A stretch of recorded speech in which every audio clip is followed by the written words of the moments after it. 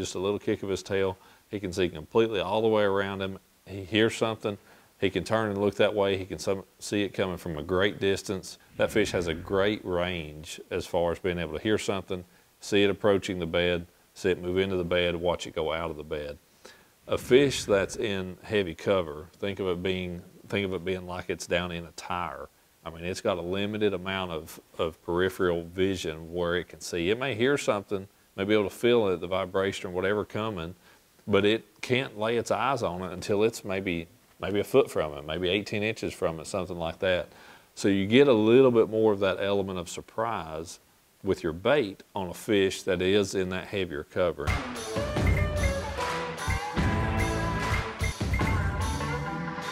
Hey everybody, welcome back to the channel and uh, here for the month of April we're going to talk about mouth calling tips and box call tips. No, I'm just kidding. I wish. you need to watch somebody else on that. I'm not very good at either one of them, but occasionally I will get a dumb enough turkey that will play my game. That's what I try to do a lot of in April. But anyway, I guess we'll talk some fishing, um, just like we uh, we talked about with the pick two more for this month. And for that pick two more, we went with a hollow-bellied frog um, that's the Terminator popping frog as well as the Terminator swim jig. But for the technique of the month, this technique of what I want to talk about using these two baits is about fishing for fish that are spawning that are in heavier cover. Um, you know, I think a, I think a lot of, of, places that, that we fish or that we think about where fish spawn, you know, we think of maybe it's beside, you know, one dock post or, um, you know, that there's just a scattered piece of cover here and there. And that's certainly the way, um, the way some fish spawn in different places. I think of, uh, you know, like where Heavy Hitters was down at Lake Palestine last year. A lot of those fish that I caught there were, you know, a lot of those were on dock posts. They were in some man-made canals and there was some wood in some of them. But a lot of it was fairly open, you know, type places. I might be in a confined area, but the fish weren't in heavy cover. Okay, so and that's not what I'm talking about with these two. I'm thinking of, you know, like a Lake Okeechobee or a Lake Kissimmee or, um, you know, a place around here that's got a lot of grass in it where those fish will be spawned up, you know, right in the middle of, of some really heavy cover. And sometimes that cover is coming all the way to the surface. Um, you know, even Douglas and Cherokee Lakes this time of year, water levels rising. There's been vegetation that's grown up, you know, all throughout the spring that is now being being covered up. Um, some places that have a lot of buck bushes, those fish love to spawn in and around those buck bushes. When those fish are spawning in places like that, they're they're somewhere you have to use a weedless bait, you know, just to be able to get to them. I've caught fish in, in such open water you could just catch them on a swim bait with a you know just an open hook on, on a jig head. That's not the case. That's not what I'm talking about with this deal. I'm talking about fish that are you know, that are in places that are really, really hard to get to. Um, and, and again, it becomes a deal with just efficiency, you know, something that you can get in and out of that cover where those fish are at to be able to make a good presentation, sometimes multiple presentations to the same place to be able to get those fish to bite. One thing in general though, I do feel like a fish that is spawning in and around heavier cover is usually a fish that's more comfortable and a fish that is a lot of times going to be more aggressive. Um, you know, a fish that's out just on one little old dock post, or maybe he's got one piece of wood, you know, kind of laid down there that he's got a bed next to or something. That fish, you know, if you imagine that fish sitting in a place like that, he can see 360 degrees, you know, just, just a little kick of his tail. He can see completely all the way around him. He hears something. He can turn and look that way. He can see it coming from a great distance you know, whether that's on the surface or that's mid-depth or that's on the bottom.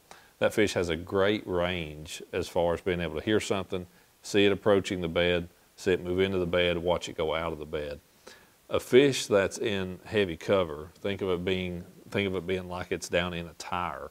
I mean, it's got a limited amount of, of peripheral vision where it can see. It may hear something, may be able to feel it, the vibration or whatever coming, but it can't lay its eyes on it until it's maybe maybe a foot from it, maybe 18 inches from it, something like that.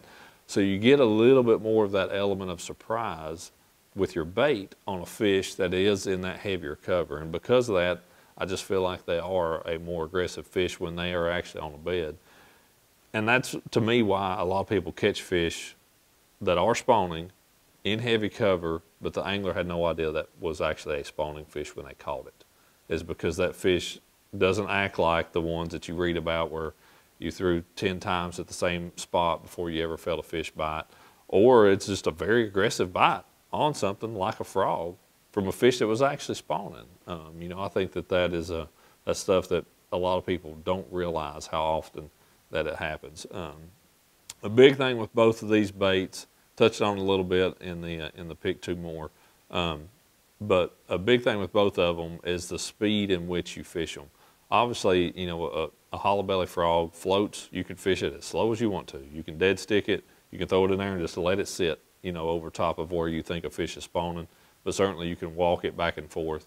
And that's what I'm going to do with the frog. It's going to be a deal where, you know, I try to make a cast where I, where I think the fish is or beyond it ideally, and then I can work it up to, you know, where I expect that fish to be if that's a base of a tree or under a buck bush or, you know, in some submerged grass. Um, but make a good cast beyond my target and then fish it slow up to it. This is going to be a time of year where I'm not fishing a frog fast. I'm not trying to cover water with it.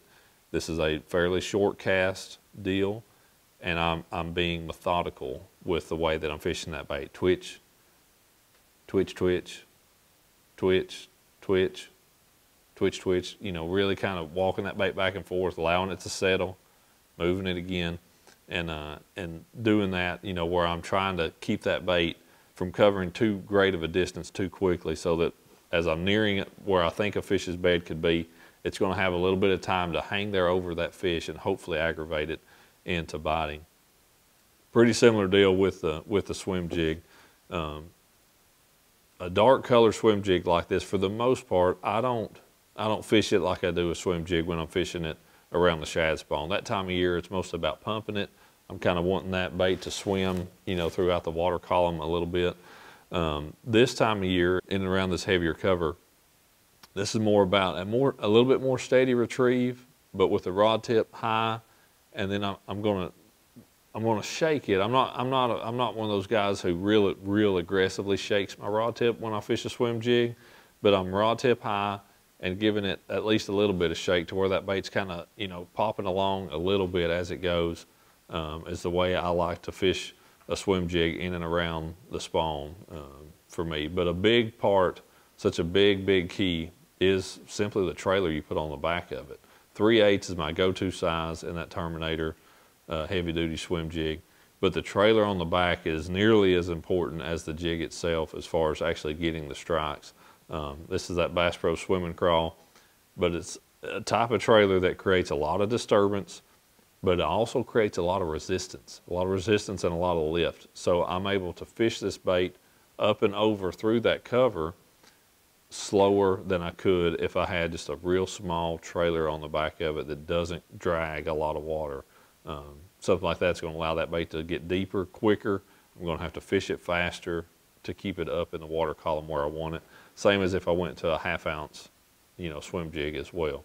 The only difference there, and when I will go up to a heavier size, if the cover I'm fishing sticks above the surface of the water, okay, and, and the main time that this really comes to mind is, is in Florida fishing Kissimmee grass because a lot of that grass may be, you know, it may be a foot, 14, 16 inches above the surface of the water.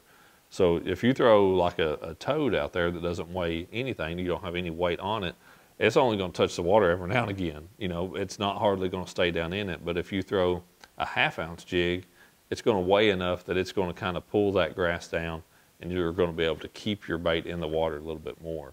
That's the one situation where a really light bait um, this time of year doesn't work well for you. You actually need something that has a little bit of weight if you're fishing vegetation that is coming up above the surface of the water. But if it's real close to it, you know, just maybe an inch or two above it, that 3 eighths is going to do you just fine. So um, a big thing with what you're, what you're really looking for as to where these these fish are actually going to be, uh, I mean, the thing that I always am thinking is a, a, a hole in the grass or a hole in the vegetation or a hole in the in the bush or the buck bush or the tree or something like that. Anywhere where it looks visibly like, man, there could be a bed sitting right down in that or or between these two pieces of cover.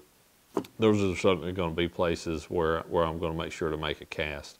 Um, as you know, in those type of places, as well as the trunk of a big tree. I mean, I think of like a willow tree, cypress tree, anything like that, where you've got the trunk of a tree. Those fish a lot of times will spawn right at the base of that trunk, kind of right where that flattens out and meets the ground.